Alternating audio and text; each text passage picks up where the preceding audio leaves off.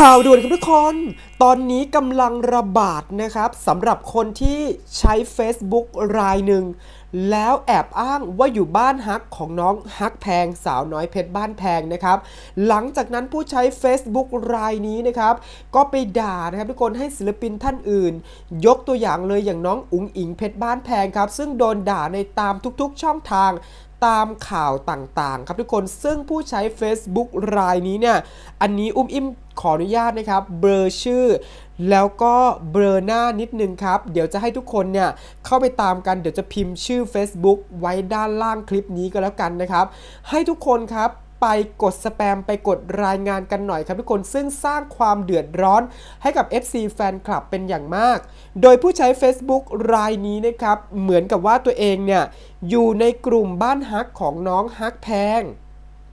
ซึ่งศิลปินเขาไม่ได้มีความเกลียดชังกันนึกออกไหมครับ อันนี้คือไปด่าด้วยคำที่หยาบคายมากๆนะครับจริงๆอุ้มอิมก็ไม่ได้อยากเบลอนะ แต่ว่าอะอันนี้ก็ตามพรบคอมนิดนึงอุ้มอิมก็จะเบลอชื่อ แล้วก็จะเบลอหน้าเอาไว้นะครับส่วนชื่อใครที่ทราบคอมเมนต์มาหน่อยเดี๋ยวอุ้มอิมจะปักหมุดไว้ให้นะครับทุกคนเดี๋ยวอุ้มอิมจะปักหมุดไว้ให้ ต้องบอกว่าผู้ใช้ Facebook รายนี้ตามด่าเขาไปทั่ว โดยเฉพาะนะครับข่าวที่มีหน้าน้องอุ๋งอิงเพชรบ้านแพงอยู่คือตามด่าหมด ไม่ว่าจะเป็นเพจไหนก็แล้วแต่ครับทุกคนที่นำเสนอข่าวอุ๋งอิงนะครับ ผู้ใช้ Facebook รายนี้แหละนะครับก็ไปตามด่าด้วยคำที่หยาบมากๆครับทุกคนอะเอาเป็นว่าอุ้มอิ่มนะครับจะบอกชื่อด้านล่างนะครับคุณเนี่ยน่าจะโดนฟ้องนะเพราะว่าเป็นใช้คำที่แบบหยาบคายมากๆนะครับ ทั้งนี้ทั้งนั้นเนี่ยเราไม่รู้ไงว่าคนเนี้ย อ่าใช้รูปจริงหรือเปล่า ใช้ชื่อจริงหรือเปล่า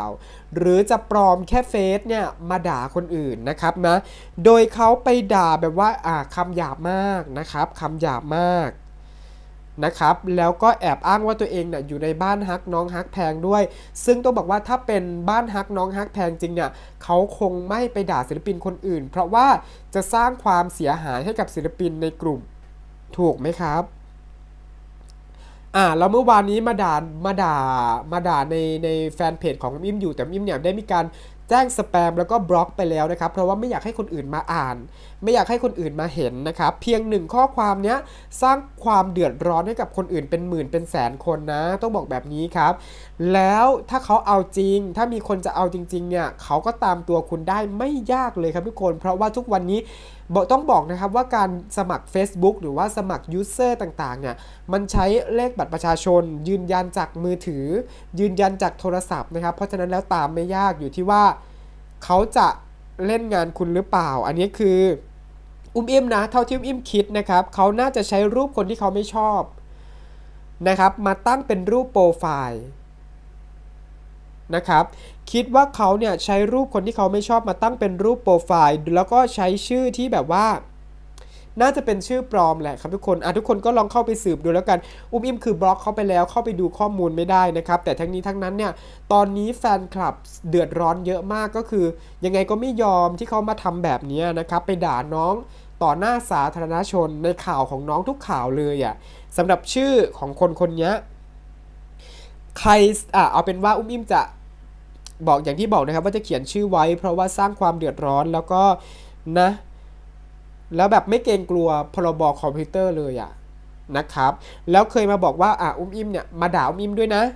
ด่าอุ้มอิ่มว่าบักนั้นบักนี้นะครับ ในแฟนเพจทำไมถึงอวยคนนี้ทำไมไม่ไม่ทำไมถึงอวยแต่คนนี้อะไรแบบเนี้ยมาด่าแล้วก็เป็นคำหยาบด้วยอุ้มอิ่มแคปไว้หมดนะครับแคปไว้หมดแล้วแล้วก็อะจริงๆไม่อยากเบลอเลยอะแต่ว่าเขากลัวที่ว่ากลัวเขาเนี่ย ใช้รูปคนอื่น มาตั้งเป็นรูปโปรไฟล์ของตัวเองนะครับ เพราะว่าถ้าอย่างนั้นเนี่ยนะครับทำได้ 1 วิธีทางก็คือทุกคนไปแจ้งสแปมกันนะครับ ไปกดสแปมกันไปกดรายงานกันกับ Facebook ชื่อนี้ แล้วก็เอารูปเป็นข้าราชการด้วยนะ มาตั้งเป็นรูปของตัวเองอะนะครับ ทุกคนไปแจ้งสแปมเพราะว่ามันจะส่งผลต่อการตั้งบัญชีในอนาคต นะครับอย่างเวลาเขาจะสมัคร Facebook มาด่าคนอีกเนี่ยเขาก็จะตั้งยากแล้วว่าบัญชีของคุณไม่ปลอดภัยแล้ว เบอร์โทรของคุณไม่ปลอดภัยแล้ว เพราะว่าเจอแจ้งสแปมมาเยอะนะครับมันมีผลในอนาคตแล้วก็ทางธุรกรรมในอนาคตด้วยนะครับทุกคนไปแจ้งสแปมกันไปกดรายงาน ให้เป็นเดียวกันก็คืออะใช้คำหยาบคำรุนแรงก็ได้อะไรแบบนี้นะครับเนาะไม่น่ารักเลยครับ เอาจริงๆนะทุกคนคนที่กล้าออกมาด่าแบบเนี้ย แล้วไม่กล้าเปิดหน้าตัวเองเนี่ย อันนี้น่าจะเป็นน่าจะเอารูปของคนเนี่ยเอารูปของคนอื่นมาตั้ง เพราะว่าเป็นคนประเทศอื่นนะครับ เป็นรูปของคนประเทศอื่นเนี่ยนะครับ แล้วก็อันเนี้ยเนาะเขามีการแอบอ้างว่าเขาผู้ที่มีการเข้าร่วมในบ้านฮักน้องฮักแพง อันนี้คือเขาแบบเขียนไว้เลย เพราะฉะนั้นแล้วเนี่ย อันนี้ถือว่า อันนี้ฝากไปถึงหน่อยนะครับสำหรับกลุ่มบ้านน้องฮักแพงให้ดูคนนี้ด้วยนะครับสำหรับคนที่ชื่อสิโรดคิดว่าน่าจะเป็นนามแฝงนะครับขจรวงนะครับ คิดว่าน่าจะเป็นนามแฝงที่เขาตั้งขึ้นมาฝากด้วยนะครับ ไปถึงฝากถึงกลุ่มบ้านฮักน้องฮักแพงด้วยให้จัดการคนนี้ให้หน่อย เพราะว่ามันเป็นไปสร้างความเสื่อมเสียให้กับน้องเลยนะ โดยตรงนะครับ มันไปสร้างความเสื่อมเสียให้น้องโดยตรงเพราะว่าไปคอมเมนต์หยาบมาก นะครับอุ้มอิ่มไม่สามารถพูดออกสื่อได้จริง ๆ หยาบคายมากๆ แล้วก็เนี่ยทุกๆ ช่องทางเลยเมื่อวานก็มาด่าช่องอิ่มอยู่ แล้วก็ตอนนี้ไปด่าช่องอื่นแล้ว หลายช่องด้วย แล้วก็ตามเพจต่างๆเนี่ยที่เป็นเพจดัง ๆ เลยนะ นักข่าวที่เขาไปลงเนี่ยคนเนี้ยอ่ามีชื่ออยู่คนเนี้ย ไปตามด่าเขาอะไรแบบนี้ทุกคน อะ เอาเป็นว่าเราไปแจ้งสแปม แล้วก็สำหรับส่วนนี้เนาะ อุ้มอิ่มมองว่าศิลปินเขารักกัน น้องฮักแพงก็รักพี่อุ้งอิง พี่อุ้งอิงก็รักน้องฮักแพง ซึ่งเขาไม่ได้มีอคติต่อกันนะครับ ศิลปินภายในวงเนาะ แต่คนเนี้ยไปสร้างความเสียหายเนี่ยให้กับศิลปินเนี่ยครับทุกคน แล้วทุกคนคิดเห็นว่ายังไง ไปแจ้งสแปมแล้วก็ฝากนะครับ อันนี้อุ้มอิ่มไม่ได้อยู่ในกลุ่มบ้านฮักของน้องฮักแพงก็ฝากไปถึง คนที่อยู่ในกลุ่มหรือว่าคนที่เป็นแอดมินด้วยให้ดูแลคนนี้ให้หน่อยนะครับ เพราะว่าไม่อย่างนั้นเนี่ยมันส่งผลไปยังน้องตัวน้องเองตัวศิลปินเองนะครับ แล้วก็ควรควรจะเอาออกจากกลุ่มอะนะเนี่ยเพราะว่ามันติดอยู่ตรงโปรไฟล์เขาเลยว่าอยู่ในกลุ่มบ้านน้องฮักแพงนะครับ คนเขาคือเขาสามารถดูได้ว่าอยู่ในกลุ่มไหนบ้างอะไรแบบนี้นะครับ ทุกคนก็นะ โหทุกคนเนี่ยยิ่งอิ่มเลื่อนเลื่อนไปเจอเนี่ยคนส่งมาให้ดู อันนี้ประมาณ 10 ข้อความนะครับ ไม่รวมที่อิ่มแคปไว้ในแฟนเพจของตัวเองด้วยที่มาด่าอิ่มเมื่อวานนี้นะครับเนาะอันนี้ใช้คำแบบไม่ไม่เหมาะสมอะนะครับเนาะเอาเป็นว่าทุกคนไปไปร่วม ไปร่วมมือกันนะครับอะช่วยกันนะครับ ช่วยกันครับทุกคนนะ ไม่น่ารักเลยนะครับนะสำหรับคลิปนี้อะฝากทุกคนด้วยกันแล้วกันนะครับ ใครที่ดูคลิปอุ้มอิ่มก็ฝากไปถึง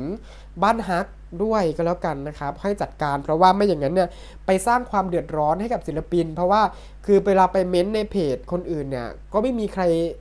คนอื่นเขามาอ่านเขาก็จะเข้าใจว่าอะน้องอุ๋งอิงเป็นแบบนี้หรออ่าแล้วคุณมาจากไหน พอเข้าไปดูเป็นเป็นอ่าบ้านฮักน้องฮักแพงเอ้าศิลปิน